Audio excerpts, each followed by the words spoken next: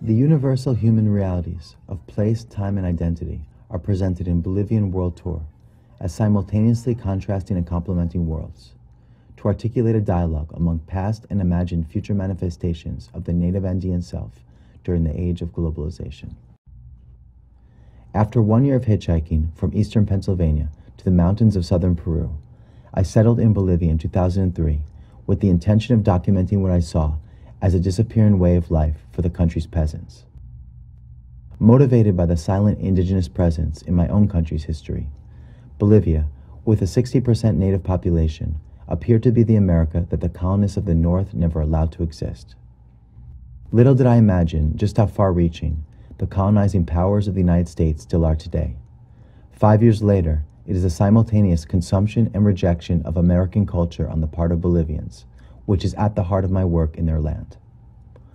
Bolivian World Tour offers an outsider's vision of the phenomenon of cultural fusion that increasingly affects the Andean world of Bolivia through the seemingly endless acts of sacrifice which such cultural assimilation demands as it unravels, slowly consuming all things original.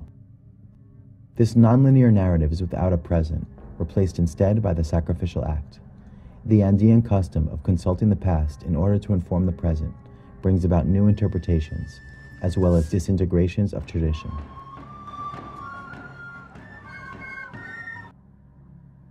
The knowledge of the past is treasured as much as it is forgotten. Bolivia is a land of extremes, where the white light and burning heat of the altiplanic sun is embraced by freezing shadows and bone-reaching wind after dusk, whose myth-endowed traditions of pre-Columbian Tinku fighting rituals borrow as much from Bruce Lee and Van Damme films as they reveal a pantheistic desire to offer blood and human life in sacrifice to the Pachamama, Mother Earth. Since the election of Evo Morales as the first native president of Bolivia in late 2005, increased representation of the country's majority has occurred on all levels of government, along with sweeping economic and social reforms, and a vast distancing of relations with the U.S. government including the expulsion of the U.S. ambassador last year.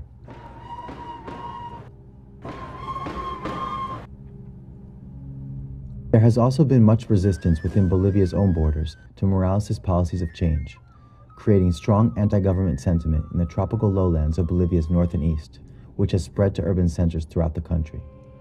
This tension is often documented on walls in a political graffiti war, with one side painting a statement and the other side painting over the letters and changing it, or simply scribbling over the letters in the interest of saving money on spray paint, which is expensive by Bolivian standards.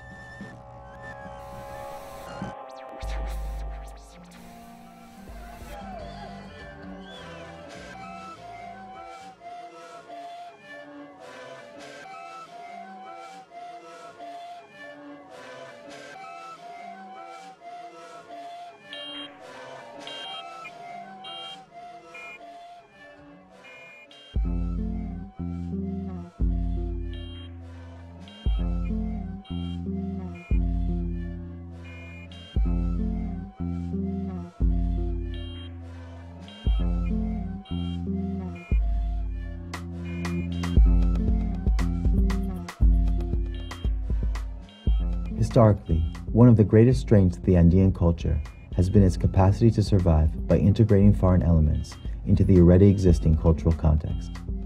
This is a process which requires unique forms of interpretation, creating something original out of the previously alien and unknown. At the speed with which cultures around the world are increasingly becoming swallowed into a global mainstream, this capacity of the Andean people to survive as a nation while maintaining their cultural links to the past is being put to the test now more than ever before.